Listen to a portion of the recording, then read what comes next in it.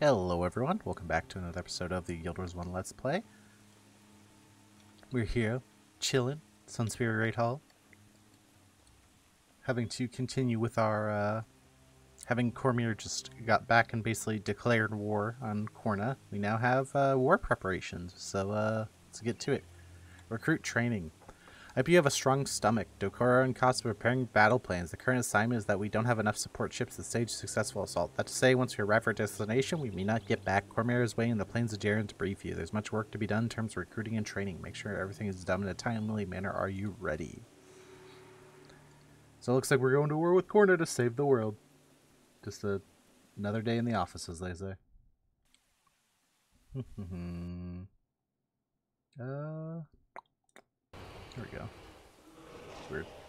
Oh, she's back here. Let's go to Kamadan.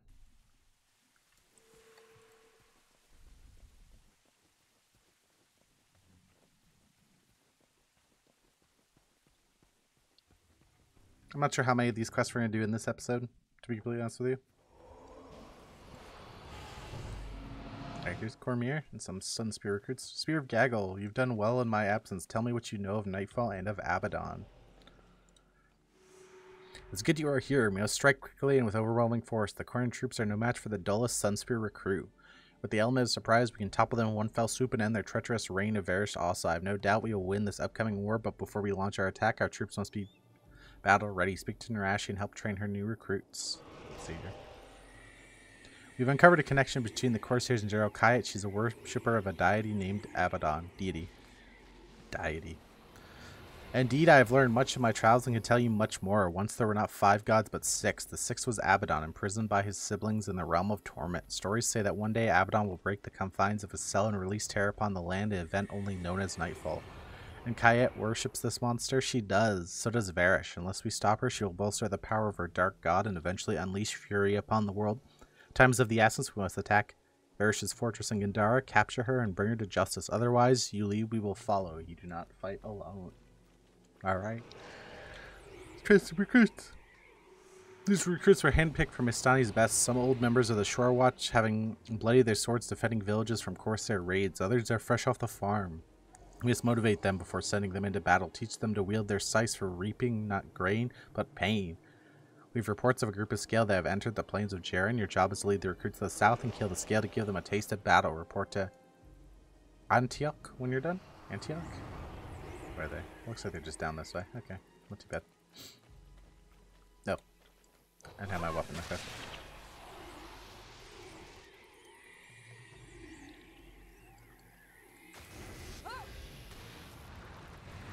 Bring all these recruits.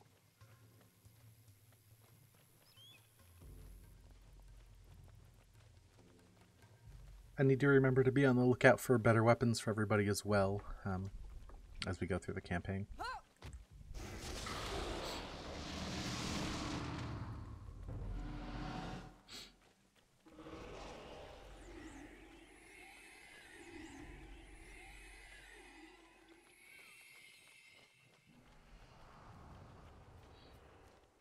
Right here the scale.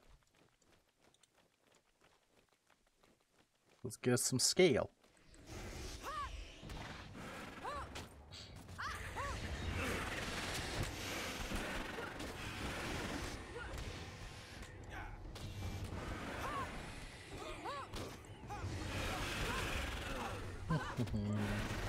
The spear.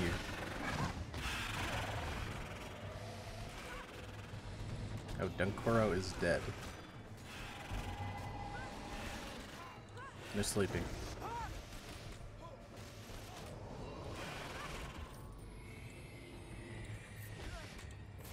Alright. Come on. Alright, now we can return. I think if we map back, it actually, like, fails. This is one of those weird missions where if you map back, you essentially have to end up redoing the whole story. Not the whole story, the the quest, so you gotta make sure you actually run back to the quest objective instead of just zoning and running out. There's a couple like that in this campaign. Um, I talked about one earlier when we were meeting Milani for the first time. Um, this is one of the other situations where it can happen.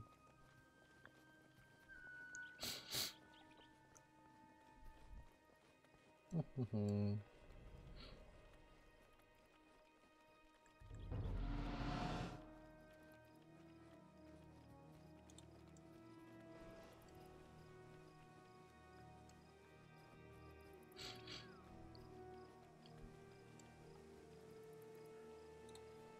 Nice job on training those recruits. Do you like big weapons? Roja has me arming these boats with enormous catapults.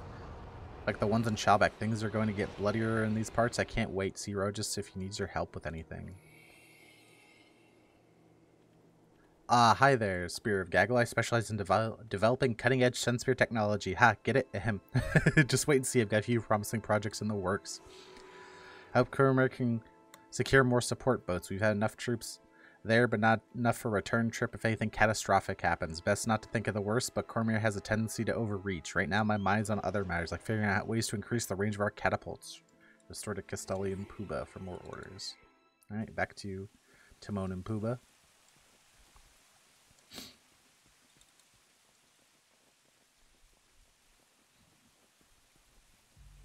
Nice work with the recruits. Continue honing your leadership skills and your enemies won't stand a chance on the battlefield. Preparations are almost ready. The assault begins soon.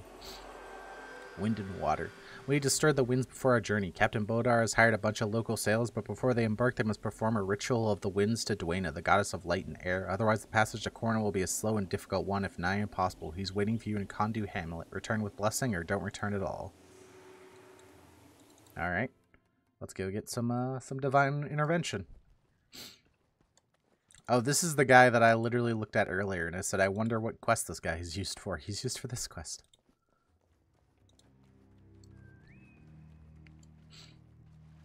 The sea is a harsh mistress. Only the Estonian corsair dares sail here this time of year. Treat the sea right and you'll make it to shore. Whether your ship lands with you is another matter. The winds are weak this time of year, so we'll need divine assistance if we're to cross the channel in time. We must seek Dwayna's intervention to summon the winds and currents to spirit us to the port of Kendara, my sailors are ready, preparing the ceremony in the Mehtani Keys. They will need your protection to complete the ritual. Alright. Let's go defend some sailors. Yarg. Mimiti. But yeah, our time on Istan is uh, slowly coming to an end. Going to attack Gandara, which is what uh, this this thing over here is, is Gandara. But uh,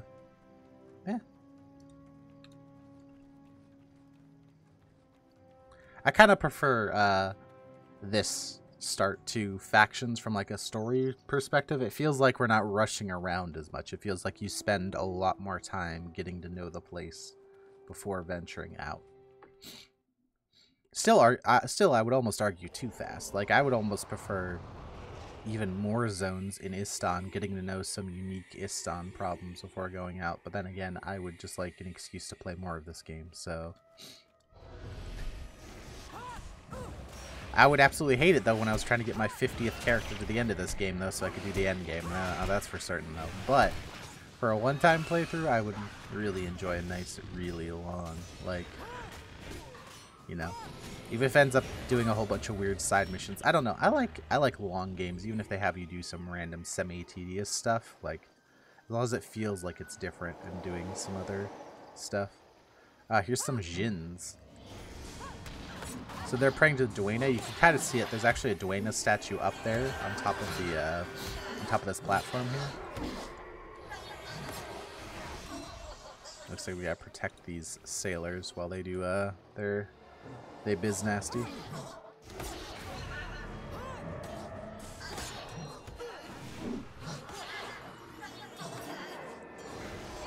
Interesting that the water Djinn are dervishes, but anyway. I really like the the way the Djinn look in this game. Alright, let's make sure the Djinn are fighting us, not the... Not the sailors. Because they're dervishes, they actually do AoE damage, so you want to be careful stacking up too much. Alright. Kinya Kaya. We are the storm, we are the calm, we are the wind. May the tides carry you to safety, and may the winds fail your sails. The, blast the blessings of wind and water are yours alone. Alright. Easy peasy. Wait, hands you the blessing of wind and water. Oh, it's like a little little thingy. Botor walks with Dwayna. His love of the seas is wide and deep. I only hope Cormac can negotiate an additional landing craft, or all might not be all might be for naught. War preparations. We don't have the numbers of our enemies, therefore we must compensate in other ways. Dor Dunkoro and Kormir propose we seek the help of the original Sunspear Guard that served alone in the days of the Primeval Dynasty. They are interned in the Tomb of the Three Worthies in Lahtenda Bog. Hopefully time has been kind to their restless spirits. Can we count on you? It must be done. Alright, let's go get some ghost some spoopy ghosts. Add that, add that, add that. Very important here. Make sure you go into the explorable area for these kinds of missions, not the actual mission mission. Very important. But yeah, we've explored a good chunk of, uh, there's a good chunk of Istan that's actually, like, explorable. Like, all the way up here is, it's like just this little area here, this little area here, and this area down here that isn't like explorable. Everywhere else is explorable, which is pretty cool. That's one thing I did like about um the um, the beginning area in uh, factions is that you can explore most of the map. And I like that. I don't know. I like it when like the map is actually like relatively close to what you would expect as you explore it, right? Like even if it kind of makes the area look a little bit smaller, there's another like a bit of satisfaction from the fact that it's like, alright, basically everything that's on the map you can eventually go to. That's something I kind of felt like Prophecies didn't do super well. There's just like a lot of dead space on the map that almost makes the game feel smaller than it actually is. Whereas like this kind of has the almost inverse effect where this area feels small but like realistically, if I was to walk from like here to here, it would probably take me like, I don't know, like 10, 15 minutes, which isn't that long, but considering it's just walking, let alone fighting and all that other kind of stuff. And how much like little things are between there. I don't know. I've regained an appreciation for like games with large game worlds and stuff. Uh, I've been playing some uh, some Honkai Star Rail on stream. That game is pretty relatively on an on rails experience. Excuse the pun, haha. Um, but the game, the other game made by that company that's popular that I play is Genshin Impact, and that game has a much more open world experience and I don't know how much I like actually just enjoyed just like the fact that there's just a big world you can run around and kind of explore and like just do random stuff in even if it's nothing important. Like how much better that makes the game actually like feel. I think that's also why I like MMOs a lot is because you get a lot of that feeling of it's just like a world you can run around in even if there's no like logical reason to do to go to a lot of places or anything it doesn't necessarily matter the fact that you can, the fact that there's like a lot to like just see, just random little stuff they put in there just because. It's, I don't know. It's what makes the game feel fun. It makes the game feel cool. I don't know. A little, a little random aside.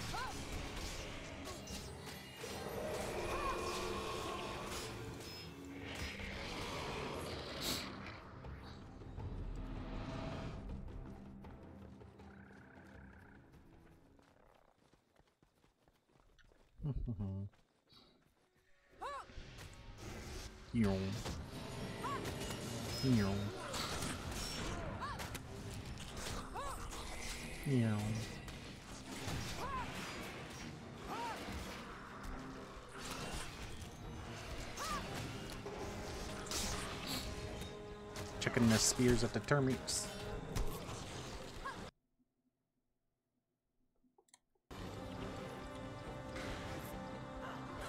Grab our gold. Alright, let's continue on.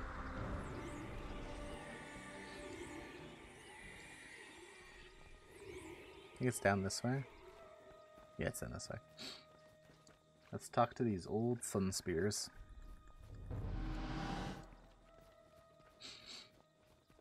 Y'all were a pain in the butt to find, you know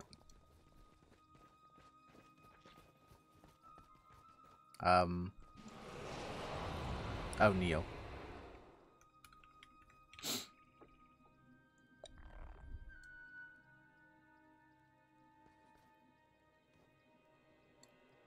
Through war we achieve peace. Now is your time to shine, Sunspear. Fight. You may arm yourself like a Sunspear, but can you fight like one?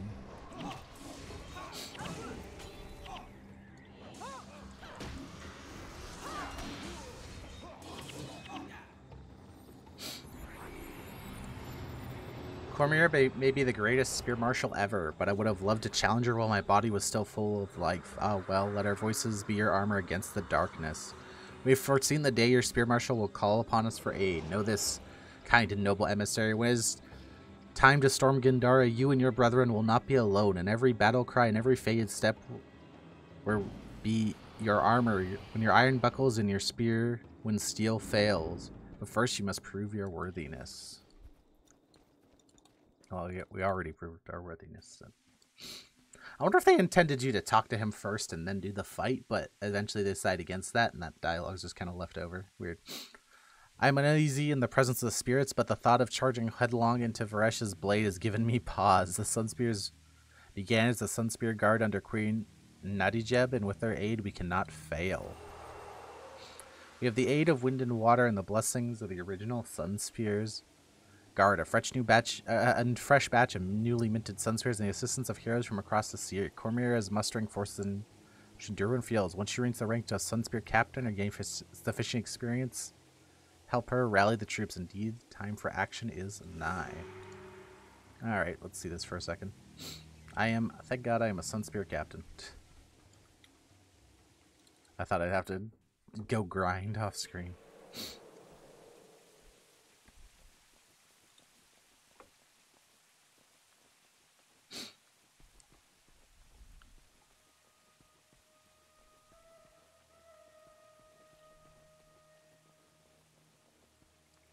But you know what? Actually, we're going to start the next episode with that rousing speech into the mission. Um, I want to thank you all for coming out. I hope you have a great day, and I will see you in the next one. Bye bye.